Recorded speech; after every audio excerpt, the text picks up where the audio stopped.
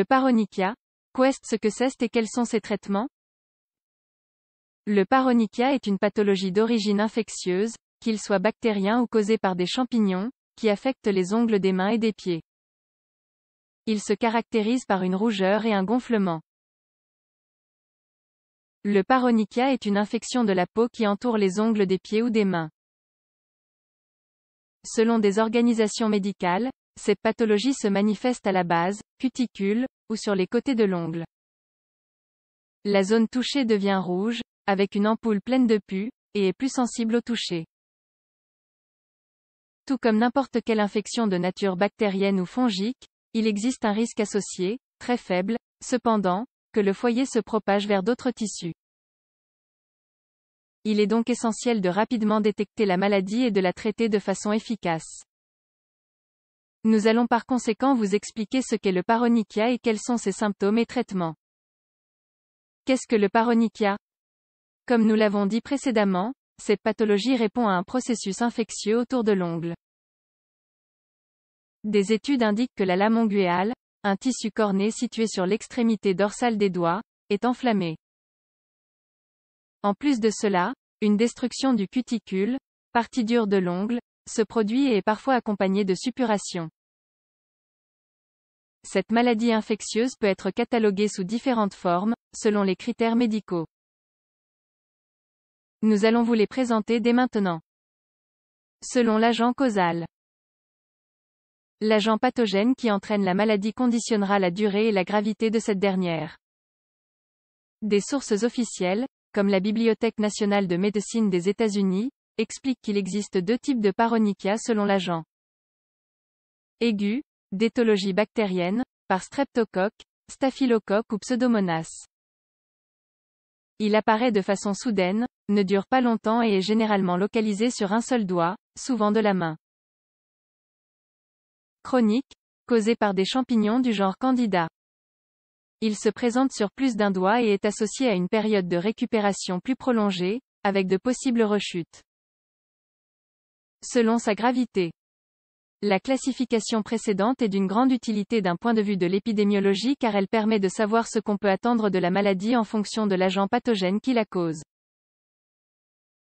Malgré cela, d'un point de vue chirurgical, il est nécessaire de distinguer le paronychia selon la gravité de ses symptômes. Des sources déjà citées antérieurement reprennent cette classification. Premier degré, quand les bactéries n'ont pas pénétré très profondément. Une ampoule de pus localisée se forme. Second degré, apparition d'un abcès, accumulation de pus, à cause d'une plus grande pénétration bactérienne.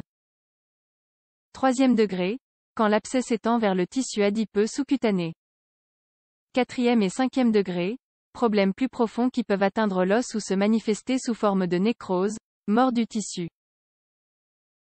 Comme nous avons pu le voir, cette infection devient plus grave quand les bactéries entrent plus profondément dans le tissu touché. C'est pour cela qu'il est essentiel de la détecter rapidement pour éviter les rares, mais possibles, complications. Symptômes et causes. Les symptômes du paronychia dépendent du micro-organisme qui le cause et du niveau de gravité de l'infection. Des portails officiels reprennent certains des signes cliniques les plus évidents, parmi lesquels nous retrouvons douleur, gonflement et rougeur sur la base d'un ou de plusieurs ongles. Apparition d'ampoules pleines de pus, localisées dans la zone de l'infection.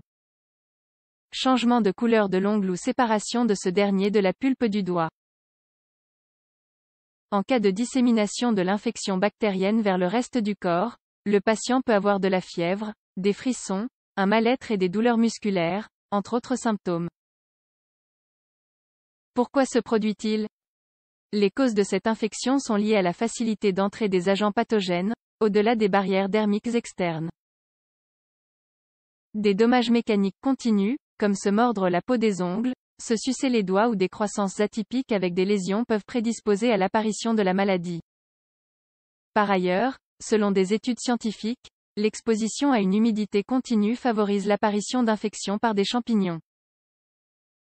Ainsi, des personnes avec des professions liées à la manipulation d'eau, faire la plonge ou nettoyer, par exemple, sont plus susceptibles de souffrir de paronychia chronique par candidat.